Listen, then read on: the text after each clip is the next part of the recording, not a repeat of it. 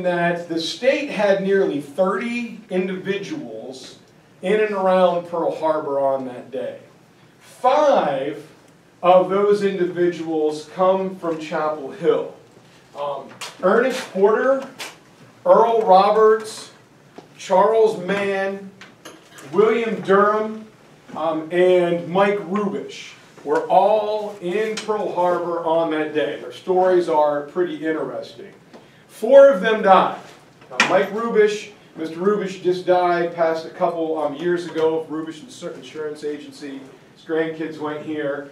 Um, so he um, was the only guy who survived, and he was there. He shouldn't even have been there. It's kind of interesting story. William Durham um, was on deck of the Arizona on the day of the attack, and if the bomb didn't land on him, it landed within a foot of him. And so his gravesite is out on Old Lystra Road, like going south down towards Pittsboro. Wow, we got rock stars here. Ooh, all right, so anyway. So Pearl Harbor, um, last week we started the European theater and Adolf Hitler's rise to power and what was going on. Well, the attack on Pearl Harbor really turns World War II into a truly world war. So Andre Harper, you guys need seats? We can get them. Anna Grace has to stand because she's not going to be in this class next year. So anyway, I'll get over that one sooner or later. So anyway, now we went back and talked about Hitler. So you got to understand Japanese history. Japan is just an old traditional empire, and right around the end of the Renaissance, the High Middle Ages in Europe. Japan will undergo what is called the national policy of isolation. Where Japanese had gone out to China, Korea, other places, they had learned about the world and they had created their own unique civilization. And at this point, there was an emperor, but he was a figurehead. He was off doing emperor stuff. The real power lie in a secondary position known as the shogun. And this guy, you know, legendary Tokugawa Ieyasu says, you know what? We've assimilated everything that we can from whomever we've talked to. We've adopted it and made it fit Japan. We're good. I don't want any outside interference. So Japan closes themselves off, except for a few Dutch traders and Jesuit missionaries. Japan is off the radar. Nobody goes out and nobody comes in. In effect, it is the European Dark Ages from the fall of Rome until the First Crusade. Japan is just existing, and they're doing just fine. Problem is, the world had hit the Industrial Revolution. And if you've ever seen, it's kind of an interesting but not super accurate, the movie The Last Samurai with Tom Cruise. All right, it's pretty good, but you kind of um, get the point. Well, Japan has this culture shock. In 1853, United States Admiral Perry sails into Tokyo Bay, chug, chug, chug, chug, chug, with a steam engine, iron-plated boat belching smoke. The Japanese are like, what is this? Commodore Perry says, hey, we're America, we're late into this imperialism game, but we would really like to trade with you and China. Chinese or Japanese, or I say China and Japan. And the Japanese are like, no, get the heck out of here. We don't have anything that, you don't have anything that we want. Oh, really? And kapoof. And he fires off a round from the main cannon. It explodes or blows up a bunch of trees. And deep, deep, deep in Japanese mythology is the concept of dragon. And they're like, whoa! The Americans literally have harnessed a dragon. Or it's belching smoke, it's shooting flame. What's going on, guys? It's blowing stuff up. I may need to get some chairs. Let me grab these two um, red Here's a chair, chair chair. Here's a chair right here. There's chairs in the back. I got chairs. Now, seven of need to sit together. It'll be like, you know, be on the wall later. All right. So, uh, they're going, oh my God, these Americans have harnessed the power of a dragon. So the next day, six samurai come down to get the admiral, and they're going to take him to meet the shogun and the emperor. And they say, hey, you're allowed to bring six Marine Guards with you. He's like, no, I'm okay. And he draws a sidearm, and he fires a couple shots into like a tree. They're like, holy crap, the guy's got a small dragon, like, you know, from the movie, he's got Mushu wrapped around his hand. They're like, what's going on?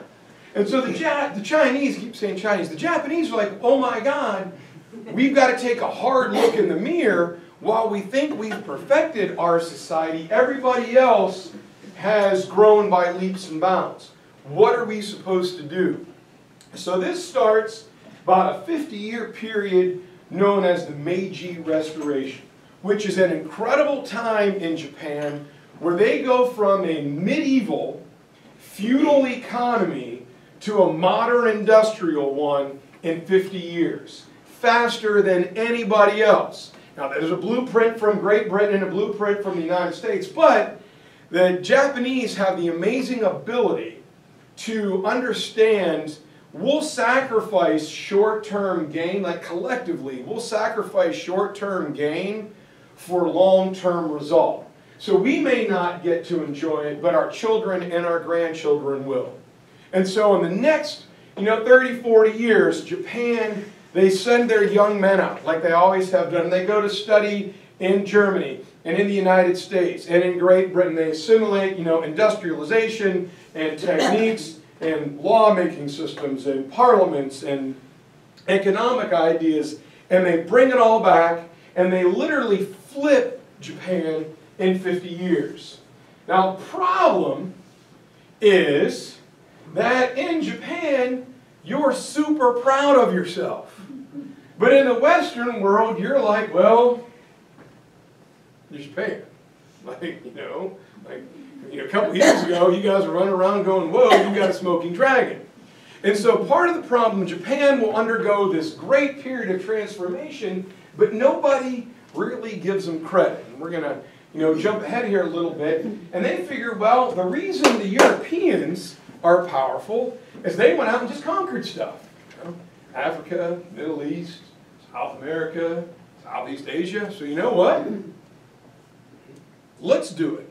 But we need to get attention. And you'll see in a second, they attack, you know, Korea and part of China. And we're like, okay, good guys. Wow, okay, you beat, you know, the Korean Peninsula. Awesome. Whatever. Most people didn't even know where it was. They're like, okay, if you're not going to give us credit for defeating an Asian opponent, we'll fight a European one. So in 1906, the Imperial Navy attacks the Russian Pacific Fleet on the Kamchatka Peninsula. So if you've ever played Risk, like Kamchatka is way up there in the range, right? And the Pacific Fleet was like the whaling fleet. The Japanese sunk it and then declared war. And they kind of have this little fracas that is kind of a stalemate. And, you know, Teddy Roosevelt is going to help negotiate the peace settlement. And the Japanese are like, yeah, look what we did to Russia. The Western world is like, yeah, but it's, it's Russia. Whatever. Seriously, Russia. They even have boats? Like, we don't even know. Aren't they frozen? All right, and so literally, so who cares? You know, comrade, whatever. Okay, nobody knows. All right. And so the main Russian fleet would have had to sail from the Baltic Sea all the way down the Atlantic, around Africa, across the Indian Ocean. And they're like, no, we're not, whatever. Like, we don't even care. The Japanese like, yeah, look what we did. Yeah, but it's, it's Russia. So good for you, but you really haven't fought a prime time um, opponent. And so, World War I is going to happen. And Japan watches this. And they had, you'll see in a second, they attacked deeper into Asia. And at the Treaty of Versailles, if you remember from last week, Victor Emmanuel from Italy was there, Clemenceau from France, Woodrow Wilson from the United States, David Lloyd George from England. The only other guy to get a speaking seat at the table is from Japan. His name is Prince Konoe. He is the little brother of the emperor. And that is significant because to this day, Japan is the only single dynasty in world history. The Yamato emperor who sits on the throne today can directly trace his ancestry back to the first emperor in the 300s BC. It's like a 2,200 year old monarchy. Unbroken chain, only one in the world ever. So there's this powerful symbolism behind the royal family. And while Konoe is there, he looks at how England and France are hanging out, and he sees Italy doing whatever, and he sees Wilson going, come on guys, listen please, we really got to work together. He's like, huh, these two are broke. Italy, we don't know what they're doing. All right, mm-hmm. most people from Italy are now bailing to the United States. And America's angry, so you know what? Well, they're all focused on themselves, broke, you're dismantled, hello, hello, hello, come on in. We're going to go do our own thing. And so here is the archipelago of Japan. Japan in length is about the size of the state of California, right? And most of the people will live on the coastline because interior-wise it's very mountainous, very rugged. It's really, really, really difficult. And so Japan says, okay, now is our time. When everybody else is focused on themselves, we can ramp this ahead. We can really get what we need. And the one thing the Japanese don't have, you remember back in the 1980s, everyone's like, oh, Japan is going to take over the world, Honda and Toyota and Sony. Well, one thing Japan doesn't have is raw materials for heavy industry. No iron ore, no coal, no bauxite for steel, chemicals, and most importantly, oil. So if you ever want to economically cripple Japan, just don't sell them anything, right? And that is in effect what is about to happen. Um, Japan needs resources. So back in 1895, they began to imperialize. We've built this army. Tom Cruise has trained us, all right? all right? So now we're going to take this thing for a spin, and we're going to see what we can do. And they go over to their old ally, Korea. If it wasn't for Korea, Korea gave the um, Japan the ability to make, you know, iron and steel, the old Paekche dynasty.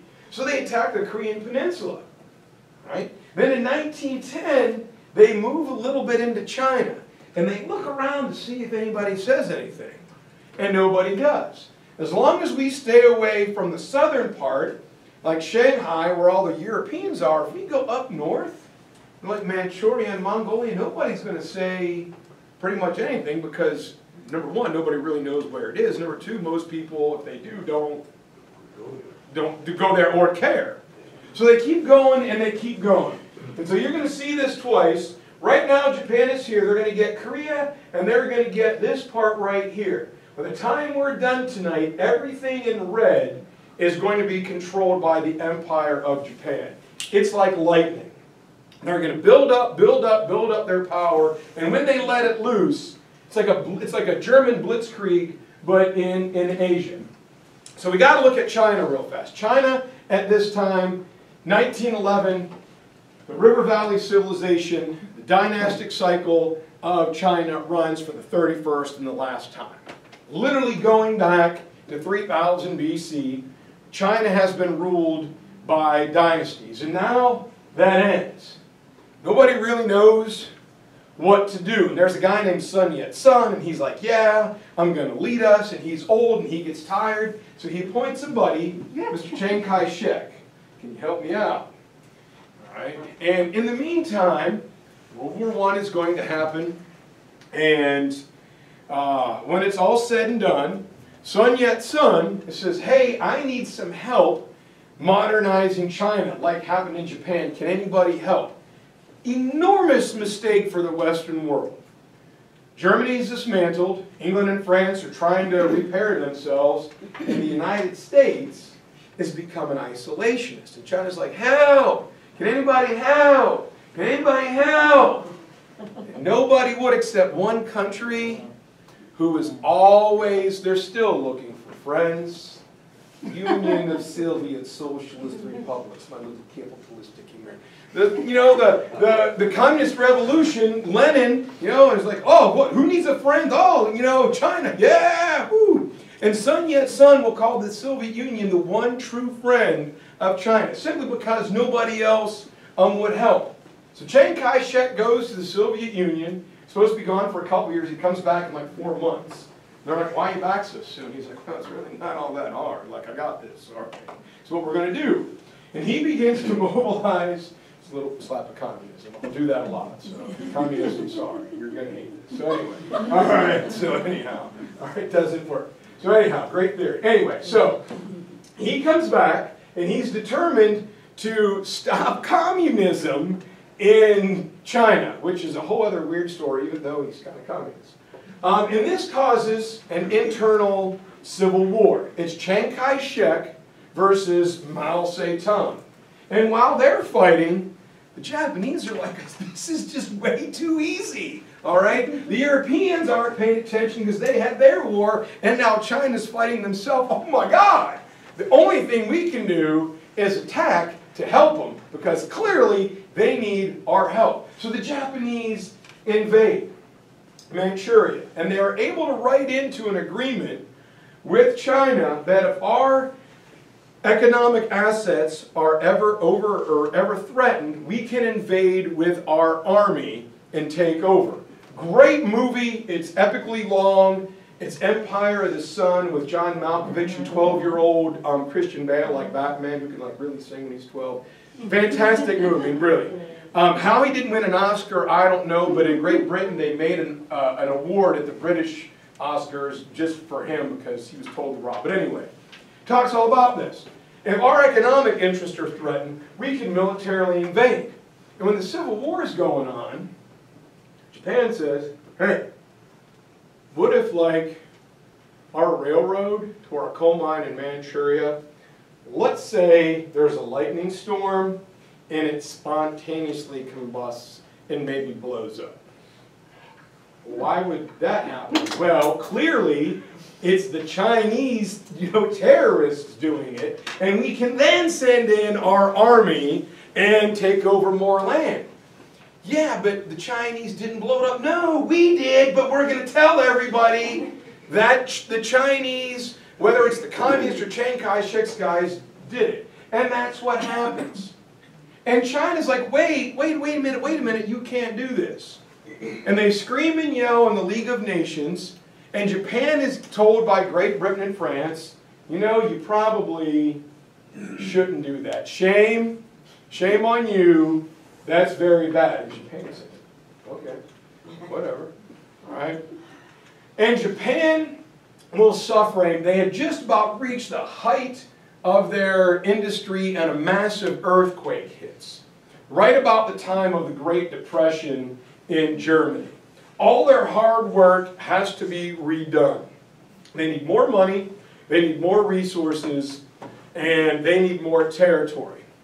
So in 1936, they will join, they're watching what Hitler is doing, and when nobody stands up to him in Europe, they join the um, uh, Rome to Berlin axis, and they join Nazi Germany in the tripartite, tri tripartite act, excuse me. June 27th, Prince Konoe says, Japan will bring about a new world order in Asia. As Germany is going to dominate Europe, Japan, we are going to not um, dominate Asia. And there's, um, check, check around real fast. One of the things that had happened, what had gotten the feeble protest, is the, for a long time, denied um, rape of Nanking, where some foreign soldiers fired upon the imperial Japanese and then fled. Um, supposedly, the citizens of Nanking assisted them. So in reprisal, when there were no military age men there, the Japanese army went in and killed 350,000 individuals. Um, old men, women, and children, some of the things they did will just defy um, imagination. Do some research, like taking bets on you know the fetus of a pregnant lady's baby and cutting them open and all this stuff. And it hits the news, right? And just a couple years ago, there was the settlement with the Korean, you know, comfort women. So we'll talk about Adolf Hitler and Joseph Stalin, but this has just been kind of, it was China and Chiang Kai-shek, and does anybody um, really know? So this here, the heads of these people hit the newspapers. People now start begin to pay attention. But again, it's, it's all the way in Asia, and that's like really far. Where is Nanking, ancient capital? I don't know. And so, what's that? We're such racists, the Yeah. US, we just Well, you know, we just, or we're just not very bright, like, you know, right, geographically. That's over there. And it wasn't just the United States, it was England, it was France, it was, you know. And so Japan at this time, because the national policy of seclusion, as Adolf Hitler was going on with, you know, the Nazi doctrine and the Aryan race, about 99%, there's no really foreign ethnic blood DNA in Japan. And the Japanese felt when the sun came up, the sun goddess, her rays shined on, shined on Japan first. So therefore, they're blessed by the sun, their most important god, who has a living representation as the emperor. Young Emperor Hirohito, at, from the age of a young boy, was brought up, when he would go into the elementary school classroom, everybody, even the teacher, would stand up and like bow. So he's raised to believe that he is a living God, and the Japanese will revive the old samurai code of Bushido. Honor, loyalty, truthfulness, and obedience to the emperor. So this is what um, you know carries it in. So problem is, as Japan begins to make their imperial advancement, they start to get close to some British territory and Dutch territory in the Dutch East Indies, where there is a lot of oil. And so knowing that they could get into trouble, Japan looks to their friends. Best friend they have, the United States. Prince Konoe and President Roosevelt know each other. They're on a first name basis. And Prince Konoe is in the White House having a meeting with President Roosevelt. And Konoe says, look, um, we've gotten all the territory we need. We've kind of rebuilt from the earthquake. I know you guys are in the Depression, but we're doing pretty good in Japan. So we're going to stand down. Right, we're going to stand down, and um, we don't have any more territorial gains outside of where we are. This is in late 1938, 1939. We're good. Whatever we have, we're going to stop. It's the exact same thing Adolf Hitler had said about Czechoslovakia. And as they're having this meeting, an aide comes in and whispers in Roosevelt's ear and hands him a message. And Roosevelt says, Get out. Konoe's like, What? I will not have you come in here and lie right to my face. Mr. President, what's going on? Or Franklin, no, that's Mr. President to you. I will not be lied to. You are a liar, Konoe. Get out.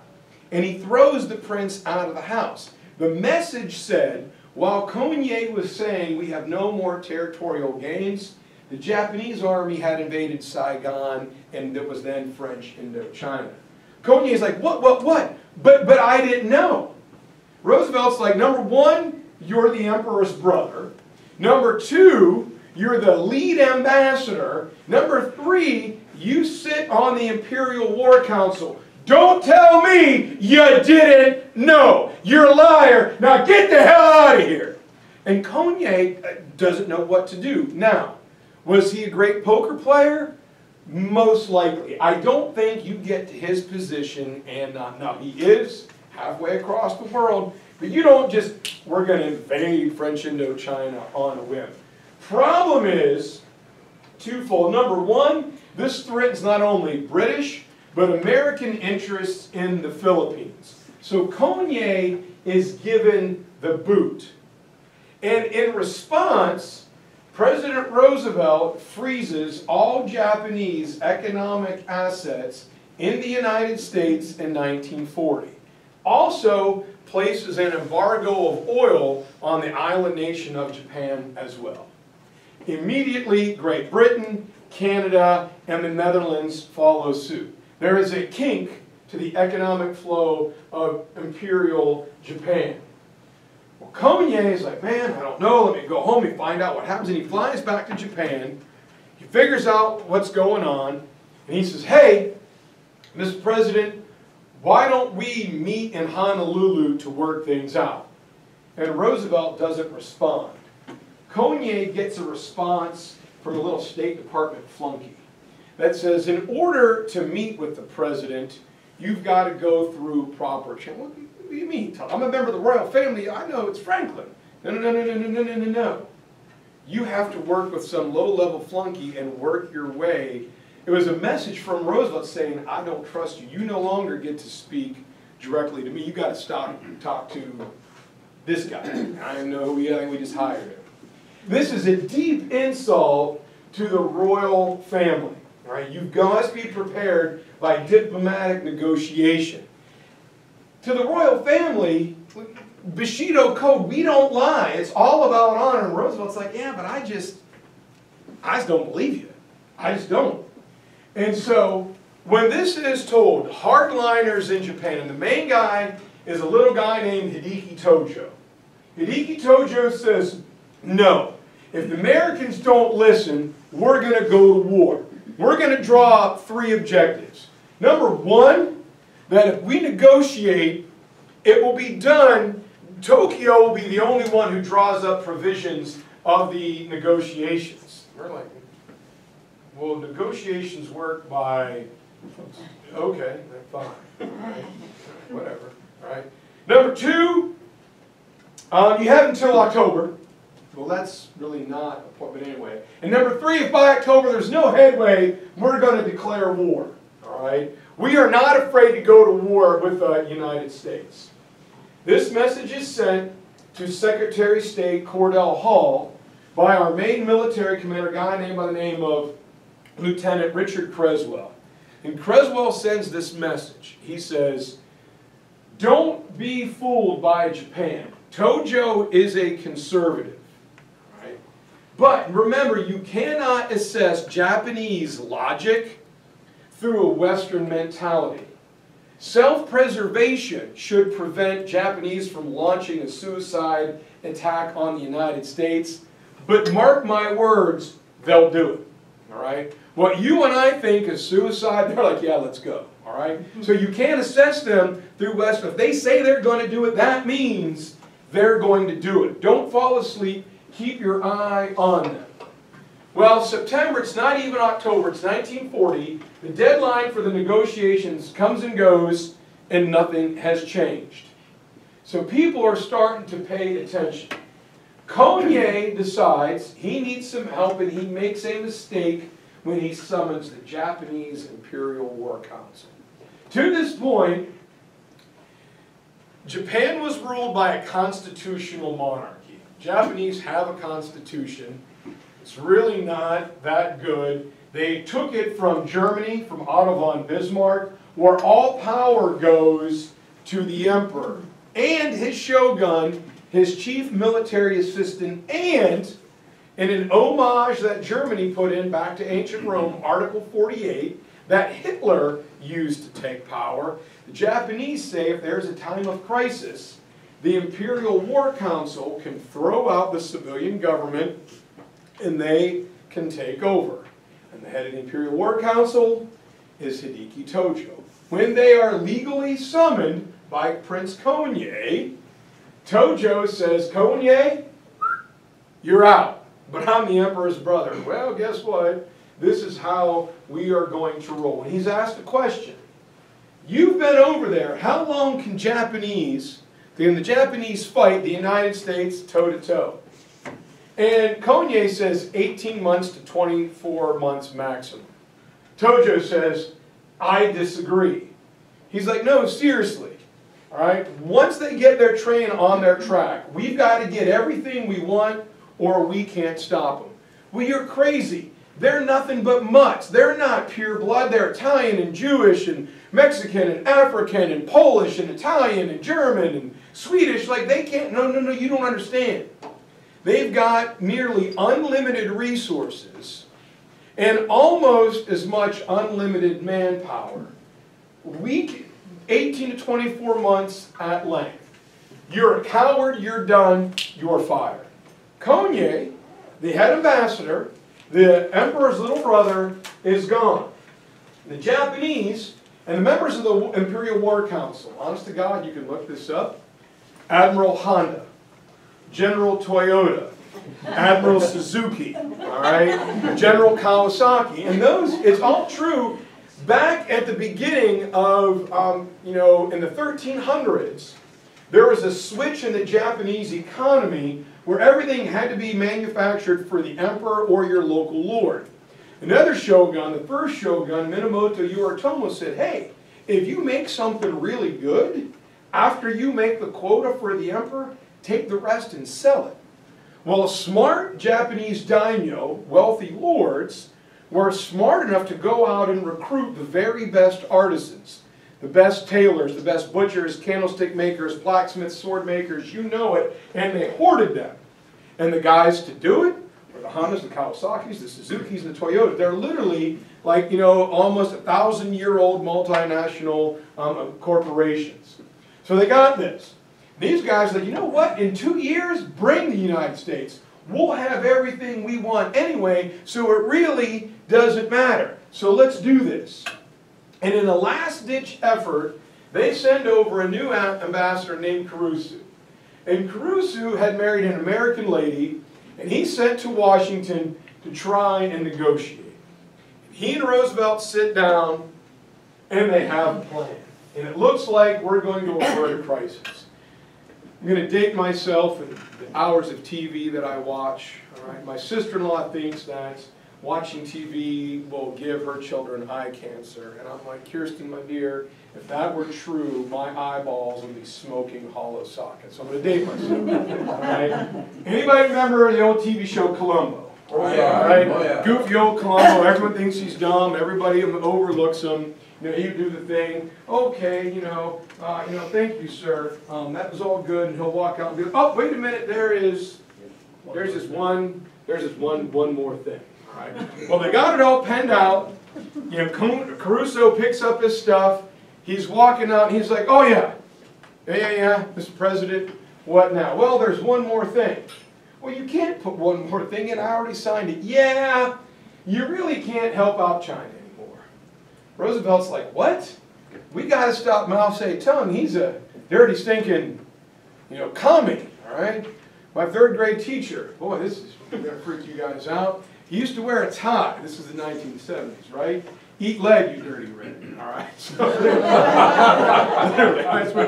All right. You know, we can't trust those dirty, stinking commies. You know, so we've got to help. No, no, no, no, no, no, no, no, no. In order for this agreement to be valid, you got. He's like, well, then you should have put that in the agreement. You can't be like, oh, we're all done. Oh, wait a minute, Columbo, one more thing. So no. Well, Mr. President, if you don't agree, this thing is no good. And Roosevelt's like, well then, tear it up. I don't care. Just fine. Whatever. So that happens. We intercept the message from the Japanese embassy. It hits Japan where they say, okay, war is imminent. This is in 1940. Right? Late November, the Imperial War Council votes unanimously, we're going to go to war, but no message is sent to the United States. And they bring in a guy, I, I kind of like him. His name is Admiral Yamamoto. Yamamoto is a real Jedi. It's kind of like almost Rommelish um, from the German army. And Yamamoto was a brilliant guy, educated in the United States, got his MBA from Harvard. He studied shipbuilding in like, you know, Portland, Maine, in Boston, and in Philadelphia.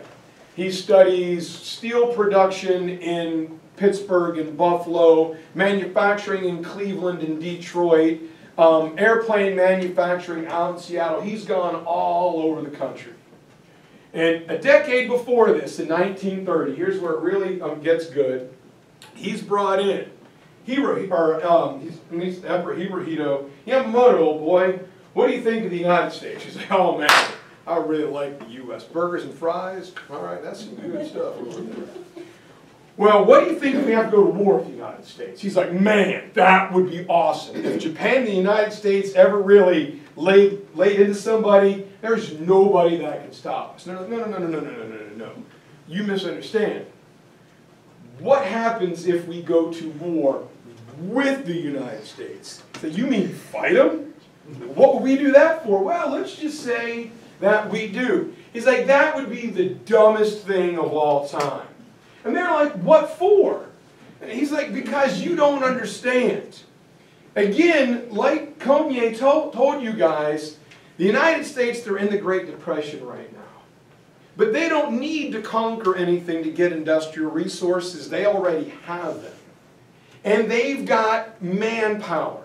If anybody makes them angry and their industrial production and their manpower is galvanized and unified, no power on this earth can stop them. Mark my words, they can't be beaten. Don't, we shouldn't do it. And they said, well, great, you're the man for a job, plan the attack. He's like, what? Yeah, since you know so much, you've got to plan the attack. If we're going to go to war with them, what should you do? He said, well, we better summon all the energy we have and strike hard, and that first blow better be a knockout killer blow, because we probably won't get to. And they're like, awesome, plan it. And he's like, no. Now, to be fair, we have a group of guys, they're called Games and Theory Specialists. They're in little think tanks and little nondescript places, and their job is to like think this stuff up. If we have to invade every country in the world, even our own, if there's an alien invasion, literally we got a plan for it. All right, it's better to have one and not need one than be like making this stuff up, like you know, kind of cowboying it.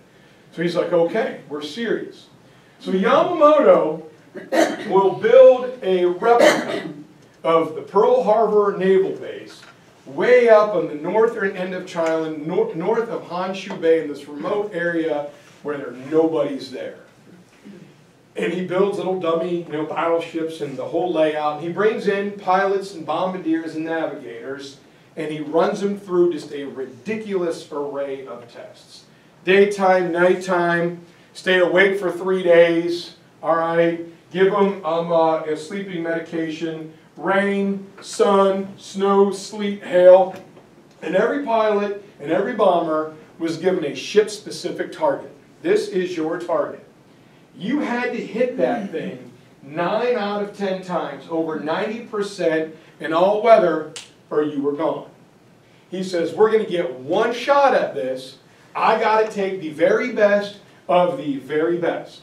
Because if we don't, we're going to lose. So I make the, um, the, the, equivalent of, these are Japanese Top Gun pilots, right? This is Maverick and Goose and Iceman. They're going out, all right? We got to take everything we have or we are in a lot of trouble.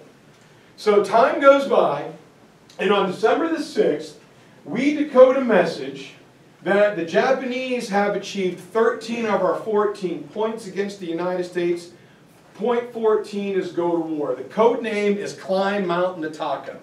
That is issued on um, November the 26th, 1941. War is on. Now, when it takes off, all right, war is coming. Roosevelt will know about 1 o'clock in the morning or 1 o'clock p.m., six hours after the attack is going to happen.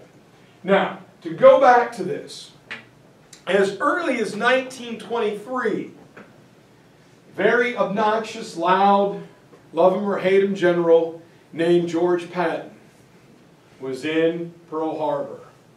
And he looks around and says, where are the anti-aircraft guns? Well, what do we need anti-aircraft guns for? Well, in Clay's planes, coming to... Well, where are they going to come from? you know, who knows? We've got to have them. Where are your anti-ship batteries? Well, we got one up like Diamond Head on the volcano. You got one? What are you going to do if we're invaded? Well, who's going to invade us? We're in the middle of the Pacific Ocean, for the love of God. Why are all of your airplanes, you know, wing to wing? Well, because we hear the Japanese got saboteurs out here, the fifth column, and if we bunch them up all together, they're easier to protect. He's like, or, stupid, did you ever not hear of a thing known as the Spanish Armada, where they all tied their boats together, and little Sir Francis Drake came by in a storm, and the Spanish ceased to be a superpower in Europe. So we might want to spread them out. Oh, no, no, no, no. He's like, oh my God. And then he looks across the Pearl Harbor, and the boats are tied up, you know, bow stern, bow stern. He's like, what in God's name? And he screams and cries so much he gets fired. March 31st, 1941, Hugh Drum and Ed Markham, one Navy Rear Admiral, one general, are sent to do a threat assessment of Pearl Harbor. And it's like they took Patton's record and just changed the date. They go, do we have any defenses? Why are you doing this? Well, the fifth column is here. Well, spread your stuff out. So nothing was done, even though as far back as 1923 in March of 41, people are saying, this, we are not ready down here. Husband Kimmel, the admiral, you got to be ready. And so here is Admiral Yamamoto. I got a little bit ahead of myself. Japanese are no longer defending, they're going on the attack. And the attack simply was, we've got to hit them as hard as we can at the initial outset of the war, or we are going to lose. And some of the things they find, um, Pearl Harbor is shallow. It's only about 30 or 45 feet deep. So at the time when you dropped a torpedo from a plane, it would sink underneath the water, you know, 60, 70, 80 feet, and as it went down and came back up, the change in pressure would activate the explosive device. It would arm the warhead. Well, if they did that with the technology they had, it would stick in the bottom of the harbor and blow up. So they've got to find a way for the torpedo to drop, to arm itself, but not go below like 10 to 20 feet. And they try and they try and they try, and they finally figure out that they build a balsa wood fin around the torpedo like the little airplanes we used to have, the little rubber band. The Japanese spend seven to eight years developing technology specifically for Pearl Harbor. Other thing, yeah. Other thing they had to do was if we drop one of our aerial bombs too low and it hits like one of the steel, you know, gun turrets, it'll just bounce off. It might, might scratch some paint, but it's not going to do anything. If we drop it too high, all right, if we hit a certain part of the deck, it may go straight through and land in the harbor. So we've got to find the sweet spot and the right size of warhead to do maximum damage. And it takes 10 years to figure all of this stuff out. Well, on November, six brand spanking new aircraft carriers, the Kagi, the Ikaga, the Shokaku, the Zuikaku, all the big ones that are going to be at Midway, head out across the um, Pacific in one of the most brilliantly conceived, you know, attack plans of all time. It's almost flawlessly executed. As they go, they take just a very small number of battleships and submarines and supply frigates. They want to go really small, right? So they're unnoticed. They go way, way, way, way, way up in the 43rd parallel in the middle of nowhere. It's not in the, in the, the shipping lanes. And all of a sudden, the Japanese feel victory coming. This storm blows up, a kamikaze, a divine wind. Now, way back in the 1200s, 1274 and 1281, Kublai Khan had taken over everything else and he wanted to conquer Japan. And if the Mongols set their feet on the ground in Japan, Japan is done. And he sends 150,000 soldiers. And to the Japanese, the divine emperor went down to the beach and he started going like this and moving and shaking and all of a sudden the waves began to grow the boats began to rock and bam the divine emperor whipped up a hurricane a divine wind and destroyed Kublai Khan's fleet like that Aang that airbender kid all right whatever he's like doing all his little mojo all right so Kublai Khan's like oh shenanigans Never been defeated before. I'll show them. I'll send a bigger invasion in 1281. And because he's Kublai Khan, I'm going to send it on about the exact same date as I did seven years ago, October. And he sends 180,000 soldiers. And the emperor starts going like this and whipping it up. And honestly, God, another hurricane comes and bam! Sinks that fleet. Kublai Khan's like, well, Japan's good. all right, all right, you know, yeah. All right, knock the sake out of me, guys, so you're good. So whatever. So he's like, okay, I'm done. So when this hurricane blows up, the Japanese are like, yes, it's the divine emperor, and it runs just north and um, east of the invasion force. It's a screen, it's a shield, it's a blocker.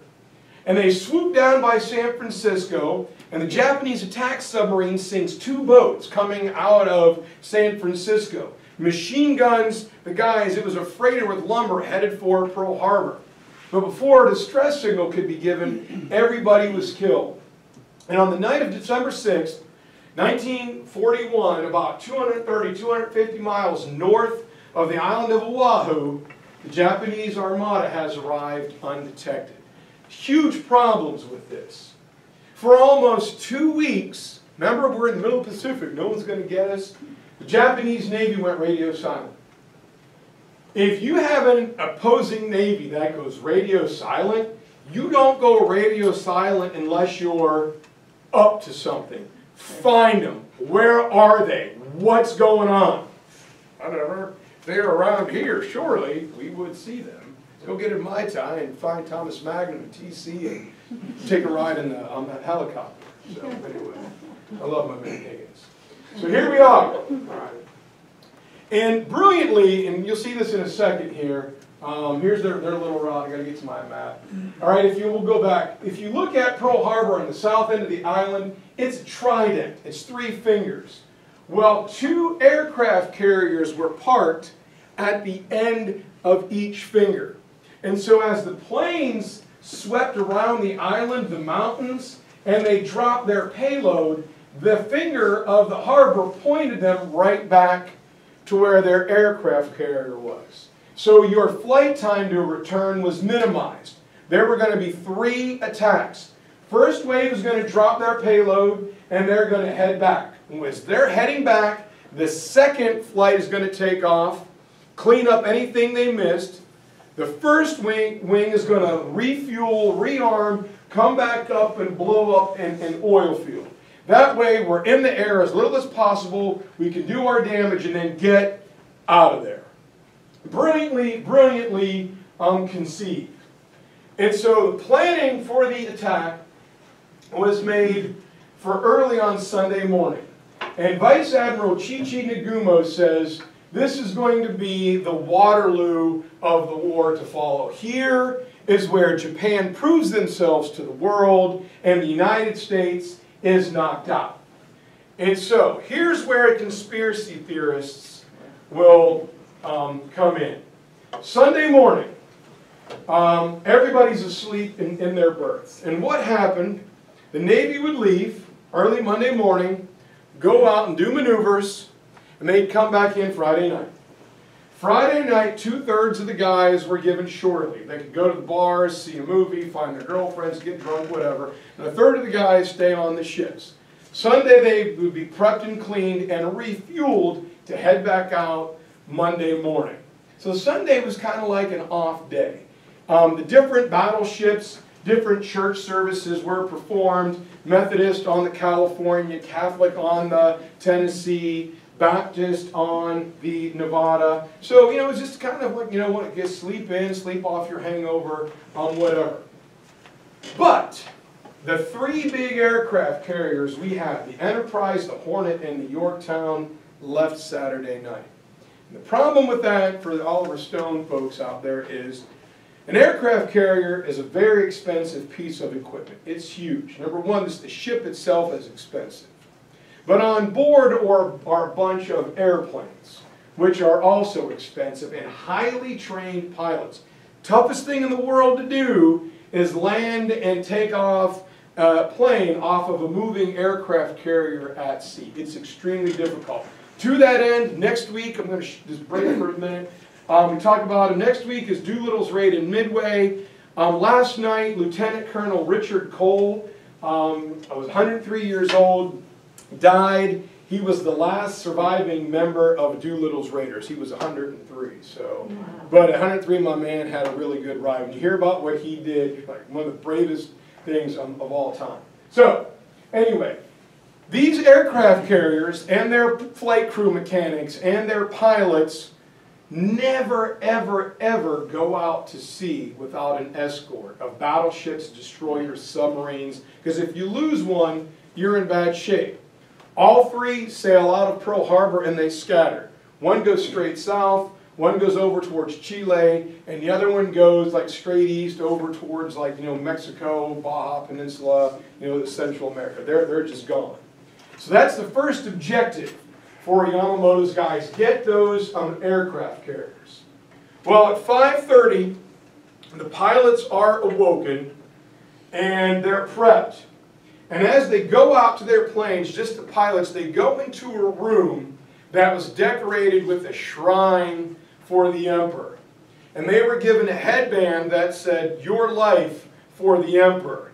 And they put their headband on. No matter what happens, the emperor says, You are blessed, go for it. It's like the Pope giving a plenary indulgence in, in the Crusades. Once I got this on, everything I do is for the emperor. So, best thing I can do is blow up a bunch of Americans. Worst case scenario, if I get hit, fly my plane into the nearest target I can because if I give my life for the emperor, I go right to Shinto heaven. So they take a drink of sake, they say a little prayer, they get in their plane, and off they go.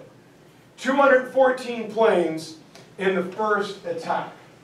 An hour later, this is where it gets interesting, um, two guys, two young privates, spot them on what is known as the Opana radar station.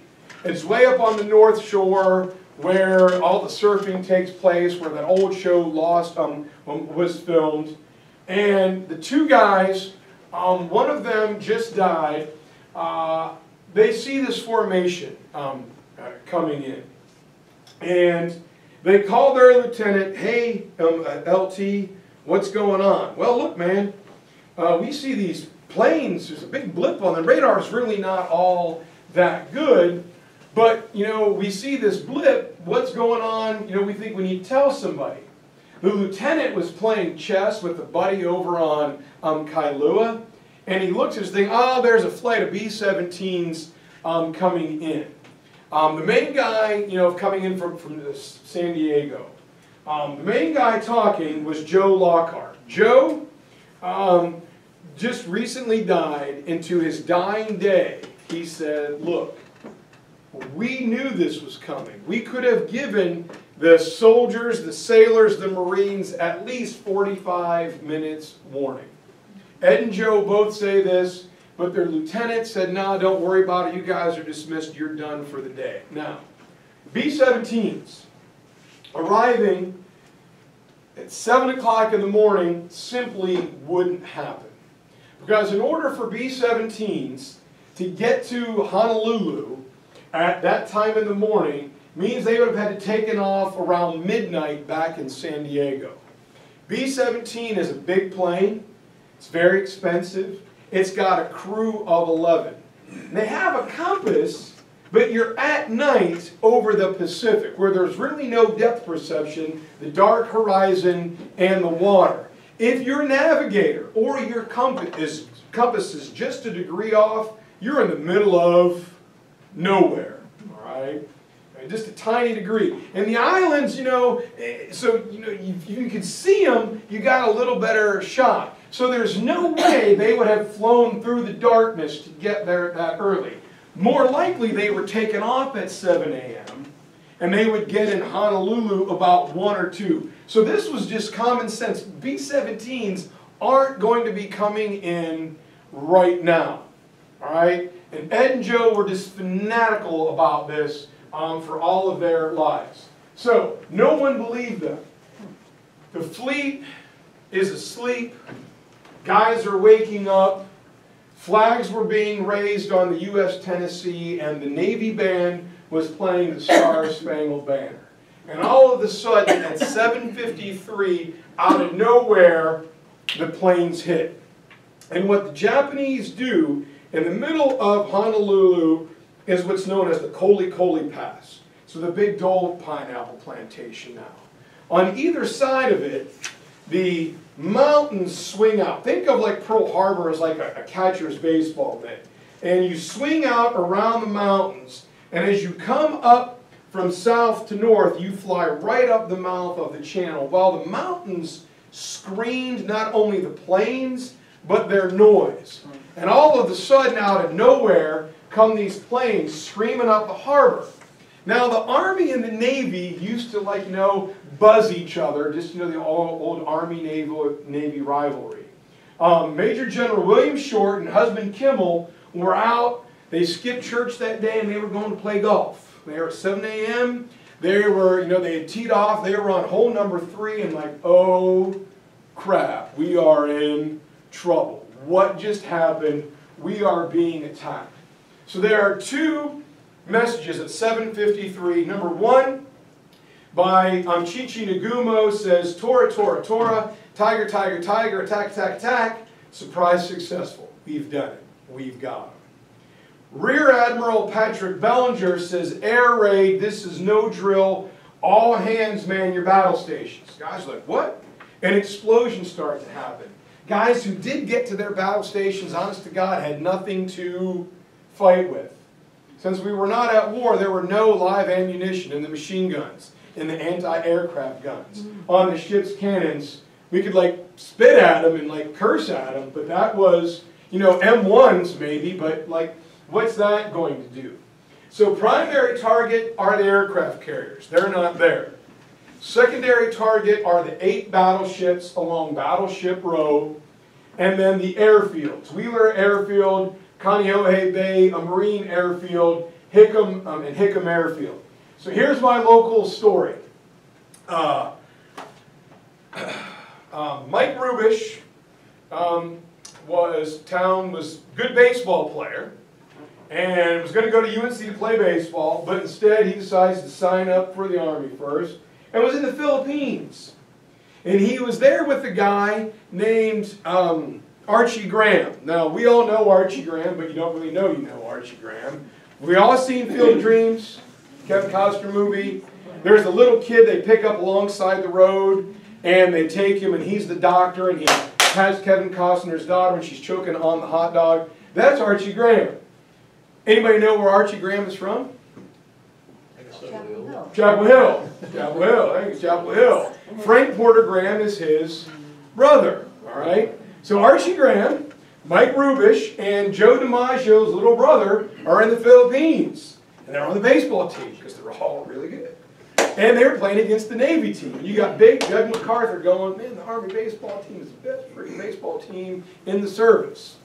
Ah, Chester Arthur Nimitz, whatever, the Navy baseball team is the very best in the service. So the two guys have an argument, they decide to play a three-game, winner-take-all Army-Navy tournament in Pearl Harbor on Christmas Day. So Rubish and Manning and DiMaggio were like, guys, come here. What? We're putting you on this plane. Where are we going? Well, you're going to Guam, then you're going to Hawaii. What for? Where are you going to play baseball? Okay. So they get on a plane, and they land at Hickam Airfield. And there's a guy waiting for them. I go, okay, what is our detail while we're here? Well, you're going to practice baseball. Well, yeah, but what else is our detail? You don't get it. General MacArthur does not want to lose. You guys are to practice baseball. What else? I don't know. Play catch. So wait, we're in the Army, we're in paradise, and all we got to do is play baseball, which we're pretty good at, and then we can go to the beach and get Mai Tais and do whatever. Yeah, this is going to be awesome. They're super pumped. Anybody guess when they arrived at Pearl Harbor? Yeah, yeah. Hickam Airfield, December 8th, or excuse me, December 6th at 10 p.m. Oh my God. So they were there for nine hours. All right, so needless to say, they never got to play their baseball game. So they're like, this is going to be great. Actually, no, fellas, it's not. So on deck of the Arizona is William Durham. William Durham, 21 minutes. Okay, here we go. All right, that background stuff took way, no more of that background stuff. Next week, we're just blowing stuff up next week. All right. Battleship is going to have three 16-inch, um, set, three sets, four sets of three guns, 12 guns. 16-inch gun shoots a 16-inch projectile, weighs about 2,000 pounds, high explosive shell, about 23 miles. So if we parked one here in the high school parking lot, we could fire, in effect, a Volkswagen Beetle and blow up the runway at RDU. Massively powerful things. Inside is a giant hunk, it's steel. If you're in there, good luck getting to you. Well, on deck, right next to turn